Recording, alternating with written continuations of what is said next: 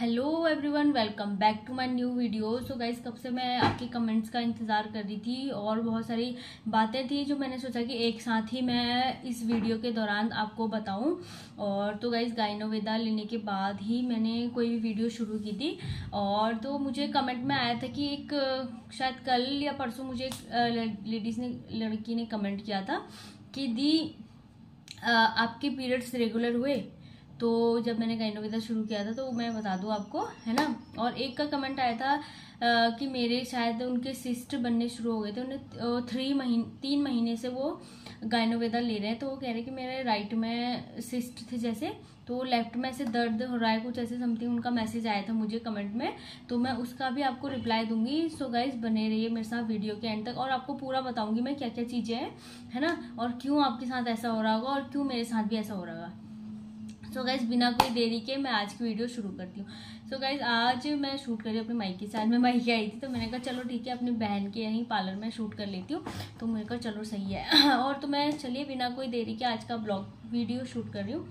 तो गाइज़ मैं ये बताना चाहती हूँ, जो जिसने मुझे फ़र्स्ट कमेंट किया था कि दी कि आपके पीरियड्स रेगुलर हुए तो मैं ये बताना चाहती हूँ, मैंने जब जैसे तीन महीने मैंने गाइनोवेदा लिया था तो मेरे कोई पीरियड अभी तक रेगुलर हुए नहीं तो उसी दौरान, इसी इसी के दौरान मेरी बात हुई थी उनके डॉक्टर से गायनोवेदा की जो डॉक्टर्स हैं तो आज ही उनका मुझे कॉल पहले उनका मुझे ईमेल आया था कि मैंने आपके वीडियोस देखी हैं तो अगर आपको कोई बेनिफिट नहीं हुआ तो शायद आ, कुछ बात रही होगी कोई प्रॉब्लम रही होगी जिससे आपको बेनिफिट नहीं हुआ तो प्लीज़ क्या आप हमें कॉल कर सकते हो? तो मैंने उन्हें कॉल किया था तो उनकी मैनेजर ने उठाया था तो उसके बाद उन्हें मुझे मंडे या ट्यूसडे का टाइम दिया था कि हम आपको बैक कॉल करेंगे डॉक्टर के थ्रू तो ठीक है मैं कहा ओके तो आज ही सुबह उनका मुझे कॉल आया था उन्हें बोला कि एक बार मुझे रिमाइंड करा देना तो मैंने कहा, ठीक है, चलिए।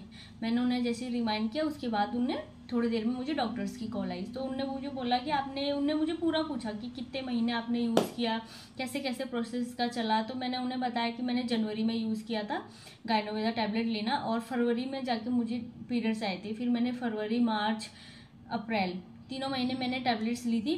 उसके बाद मुझे पीरियड्स आए नहीं। अभी हो गया है मई, आज है मई थर्टी। है ना, तीस तारीख हो गई आज मई की और अभी तक मुझे पीरियड्स आए नहीं है। तो उनकी जब डॉक्टर्स ने मुझे ऐसे पूछा तो मैंने उन्हें बताया कि ऐसी सी तो उन्होंने बोला कि ये जो गाइनोवेदा की टैबलेट्स हैं ये क्या है? आयुर्वेदिक हैं। थोड़ा टाइम वो देंगी क्योंकि बहुत सारे आ, हाँ उनने मुझे अपना फेसबुक अकाउंट ज्वाइन करने को बोला था तो मैंने वो भी ज्वाइन किया। तो उसमें जब मैंने लोगों के रिज़ल्ट देखे ना मैंने सोचा सच में शायद ऐसा हो सकता है। बहुत सारे लोग मुझे कमेंट में करते कि दी हमारे हम प्रेगनेंट नहीं हो पा रहे। तो शायद मुझे लगता है कि भगवान की जैसे अगर आप बोलोगे तो मैं आपको वो पेज शेयर कर दूँगी, है ना? पर लेकिन वहाँ इतने लोगों ने अपने कमेंट किए थे, इतने पॉजिटिव कमेंट थे तो मैं ऐसे गाइनोवेदा के थ्रू अपना ऐसा पेड प्रमोशन तो है नहीं। बस जिन्हें फ़ायदा नहीं, जिन्हें जो चाहते कि हम प्रेग्नेंट हुए, शायद उनके लिए ये बेटर ऑप्शन है है ना? तो मुझे नहीं लगता कि कोई और दवाई भी ऐसे सही कर पाती होगी। पर जब मैंने वहाँ, मैं मानती हूँ कि एक, दो, दस, बारह, पचास फेक हो सकती है, लेकिन नाइन्टी वन थाउज़ेंड के करीब वहाँ लोग थे, ठीक है? सबके मैंने प्रेगनेंसी टेस्ट के उन्हें वीडियो, प्रेगनेंसी जो टेस्ट होता है, उसकी उन्हें एक फ़ोटो डाली हुई थी वो डाला हुआ था और अपने बच्चे के साथ उनका एक्सपीरियंस डाला हुआ था कि हम प्रेग्नेंट हुए इसकी वजह से हमने साल छः महीने मतलब कहीं नहीं गए कि साल छः महीने आप कोई चीज़ यूज़ करो उसके बाद आपको रिज़ल्ट मिल रहा है तब बेटर है। मैंने तीन महीने यूज़ किया शायद मुझे उसके अच्छे रिज़ल्ट मिलने शुरू भी हो, हो जाते पर लेकिन मैंने छोड़ दिया था है ना? शायद मेरी गलती रही होगी तो उनने मुझे समझाया कि आप ऐसा कीजिए अब मैं आपको डाइट प्लान शेयर करती हूँ। अगर उनकी डॉक्टर ने मुझे डाइट प्लान शेयर किया तो मैं आपको ज़रूर शेयर करूँगी वो डाइट प्लान है ना? तो उनने मुझे ऐसे बताया कि आप अपना डाइट प्लान मैं आपको शेयर कर देती हूँ। अगर आपको कोई भी प्रॉब्लम होती है तो आप मुझे ईमेल के थ्रू आप बोल सकते हो। मैं कहा, ठीक है, चलो। एक एक पर्सनल डॉक्टर होती है ना तो मुझे बहुत अच्छा लगता है कि हाँ चलो, सही है। तो उनने मुझे बहुत अच्छे से बातें की और उसके बाद उनने मुझे अपना ईमेल उनने मेरी ले ली तो उसके बाद उन्होंने बोला कि मैं आपको कोई भी ऐसे मुझे लगेगा तो आप अपनी दवाइयाँ कंटिन्यू कीजिए और अगर आपको कोई भी दिक्कत आती है तो आप मुझे ईमेल भेजिए मैं कहा, ओके। बट हाँ जी तो उनकी एक जो मैनेजर थे उन्होंने बोला कि आप अगर सीधा हमारी वेबसाइट से लेते हो तो उसमें क्या होता है कि आपको कोई ऐसे, जैसे फ्लिपकार्ट अमेजोन से हम थोड़ा डिस्काउंट में ले लेते हैं तो वो उनके अपने मार्जिन होते हैं तो उनकी सीधा साइट से लीजिए, क्योंकि उनके साइट पे एक ही रेट होता है है ना? तो उनकी सीधा साइट से लेंगे तो उसी में आपको डाइट प्लान वगैरह मिलेगा।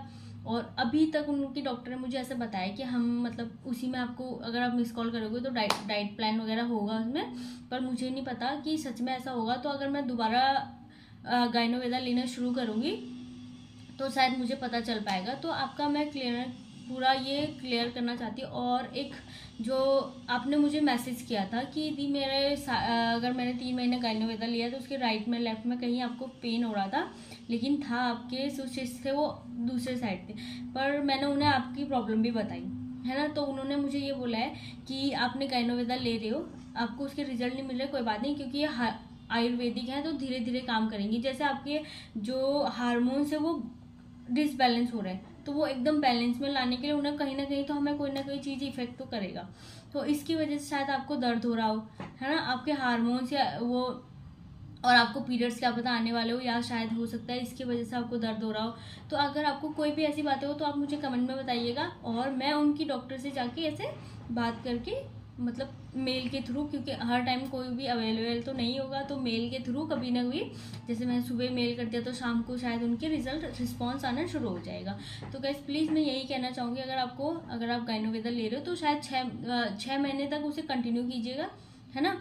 तो उसके बाद आप, अगर आपको नहीं रिज़ल्ट मिल रहा, तब आप जाके कुछ कीजिएगा लेकिन अगर आपको उनकी फेसबुक आईडी फेसबुक वाली वो देखनी है तो आप प्लीज़ उसमें चेक कर सकते हो कि बहुत सारे लोगों के पॉजिटिव रिज़ल्ट मिले जिन्हें दो दो तीन तीन चार चार सालों से बच्चे नहीं हो रहे थे, है ना? बहुत सारी लेडीज़ों में शादी के बाद, खासकर लेडीज़ में शादी के बाद यही रह जाता है कि हम प्रेगनेंट एक दो साल हमें आराम से निकाल लेते हैं, लेकिन जैसी एक दो साल से ऊपर होते हैं, तैसे हमारे घर वाले, हमारे समाज, हमारा मोहल्ला एक नॉर्मल नेचुरल सी बात है, इतने फ्रैंक तो हम है नहीं। ताने मारना शुरू कर देता है कि अभी तक आपके बच्चे नहीं अच्छा ये है अच्छा वो है।